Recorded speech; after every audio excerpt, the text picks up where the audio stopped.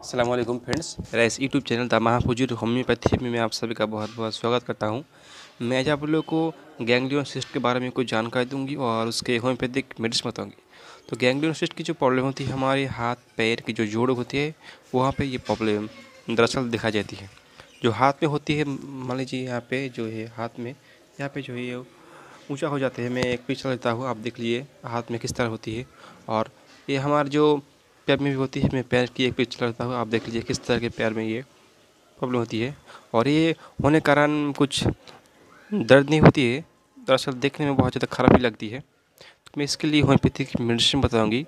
और आप इस होम्योपैथिक मेडिसिन को यूज़ करेंगे तो आपकी जो गैंग्लियोसिस्ट की जो प्रॉब्लम है, ये वो प्रॉब्लम ठीक हो जाएगी। तो इसके लिए सबसे अच्छी होम्योपैथिक मेडिसिन है थूजा टू हंड्रेड।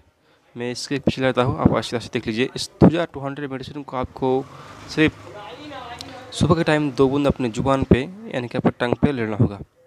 और दूसरी मेडिसिन है रूटा 200 रूटा की पिक्चर लगता हूँ आप अच्छी तरह से देख लीजिए। इस रूटा 200 मेडिसिन को आपको सिर्फ़ शाम के टाइम दो बूंद अपने ज़ुबान पे लेना होगा। और तीसरी मेडिसिन है कैलकुलिया फ्लोर सिक्स एक्स एक बायोकमिक टैबलेट है।